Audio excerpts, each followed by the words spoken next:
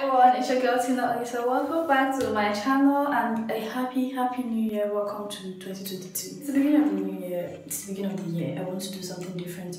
Rather than my normal usual routine, I'm not totally changing my routine or you know trying to abandon my former routine and everything. But I'm trying to try new things, see how my hair reacts to it and all that. Today I will be hydrating my hair first before I wash my hair because my hair is actually very very very dry and just washing normally washing your hair like this is actually going to incur more breakage and today I won't be doing my normal oil pre-poo. I will be hydrating my hair first before washing it rather than using a pre-poo oil. I want to see how this would actually turn out and I want to you know show you guys what my hair is going to look like actually hydrating it first. So because I'm not doing my normal pre-poo routine, I won't be detangling my hair, which I can't actually detangle my hair while my hair is dry like this because it's going to incur breakage.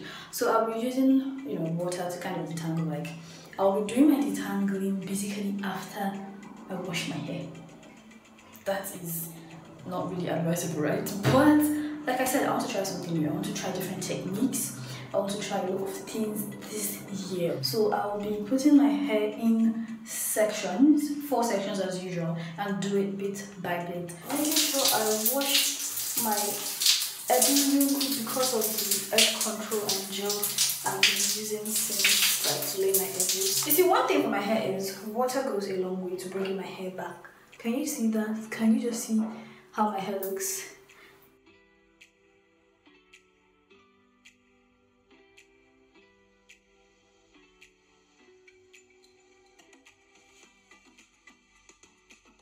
I'm going to be just using honey for my hydrating and why I'm using honey is because honey is a humectant. Honey is a humectant. A humectant is something that draws in moisture into your hair.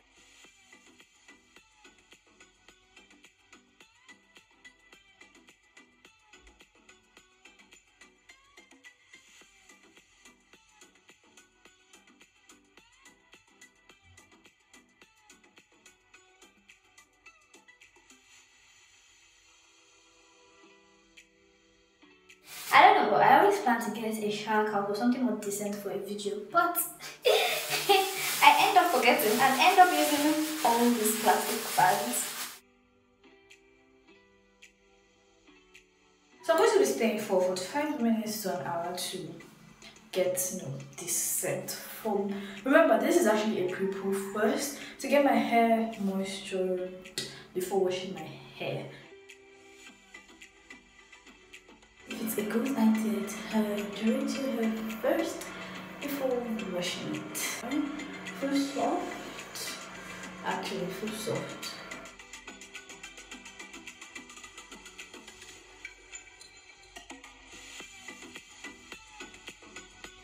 Okay, I'm done washing out the honey from my hair. This is what my hair looks like. And I've not even washed my hair.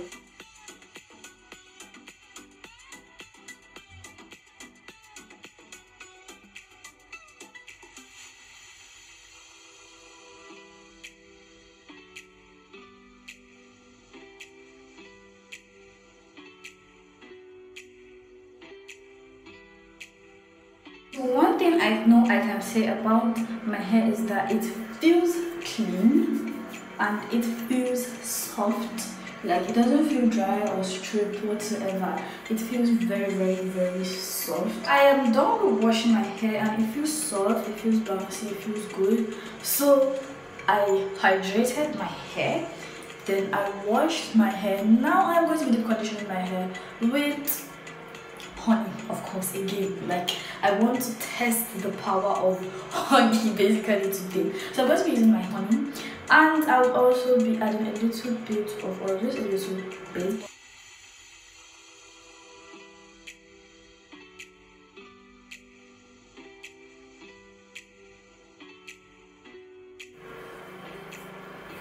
It feels so soft to be honest like very, it feels very very very soft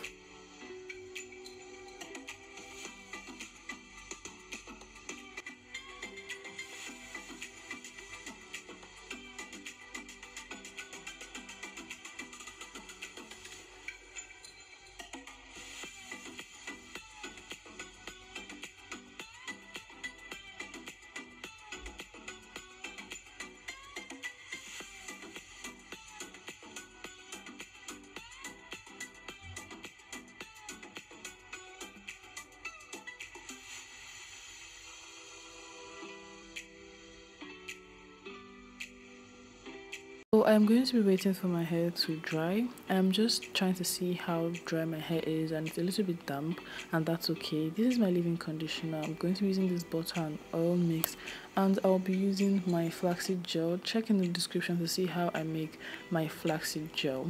So first with the leave-in conditioner this is the first time i'm using this leave-in conditioner. It belongs to my sister and i just felt like okay let me use it.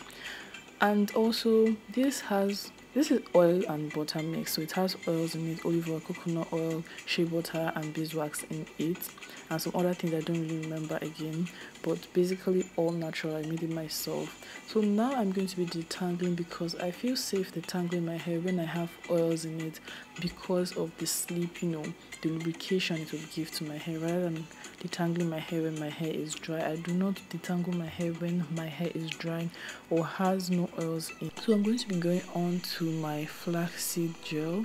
I'm using this flaxseed gel because i want to use this. It doesn't have flakes that um, eco styler gel or some other styling gels leave in my hair. And because i'm just I just want the style to last a little bit longer with definition. That's why I choose to use a gel. I could do this without a gel. So this is what it looks like when I am done. And I'm going to go in. This is the next day when it's totally dry. So I'm just going to fluff the roots of my hair and just put it up in like a pony kind of style. I did my edges as you can see with an edge control. I couldn't use the flaxseed because the flaxseed doesn't really hold my edges that much. And this is what it turns out to be. It doesn't really look so well packed well together because i was in a rush i was in a hurry. But later on when i decided to take my time this is what the style looked like. I don't know if you guys love it but i really like it. It's simple it's easy and it's it doesn't tangle my hair that much at all so that is it. I want to know what you think about the style down in the description box. Thank you so much for watching my video and every of my other video. I still remain your girl tina Oliseh your number one natural educator. I'll see you in my next video. Bye